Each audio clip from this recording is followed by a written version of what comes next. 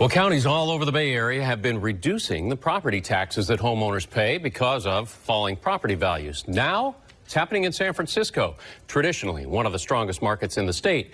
In fact, CBS 5 political editor Hank Plante has learned the city just knocked down another 1,600 tax bills. Hank? Alan, it is not good news for homeowners to learn that their houses or condos have declined in value, but it is good news for them to get a tax break because of it.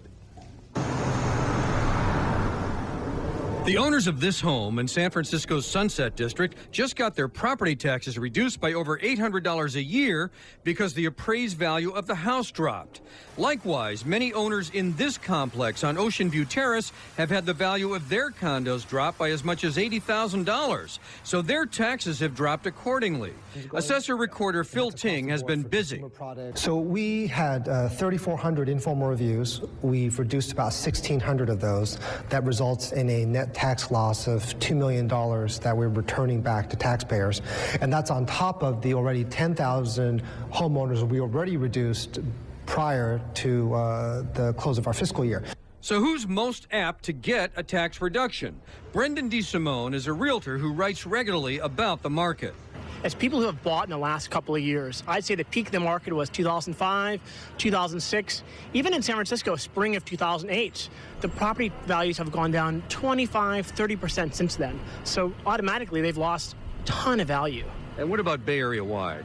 Bay Area wide, we're back to 2004 pricing. Anybody who bought during the low interest rates and the refi boom a couple years back, we're back to those prices. In San Francisco, Phil Ting has put money aside in reserves so the city wouldn't be hurt by the loss in taxes. But that's not the case everywhere, and it is happening everywhere. This is happening all over the state, isn't it? Oh, yeah. We're actually the last county to do it. In fact, uh, Alameda did 98,000 reductions.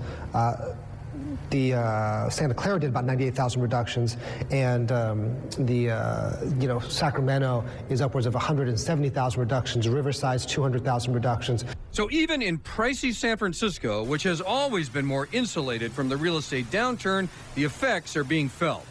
The good news is in San Francisco, we're still the strongest real estate market in the state, but it's sort of like being the world's tallest midget. It doesn't really uh, help you in these kinds of times.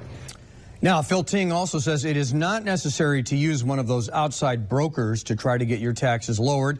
Your local county assessor's office can give you the forms for free. However, it is too late to apply for a reduction for this tax year, but Alan, there is, of course, always next year. Better late than never seems to work on in this case, Hank? All right, thanks. Had a busy day for the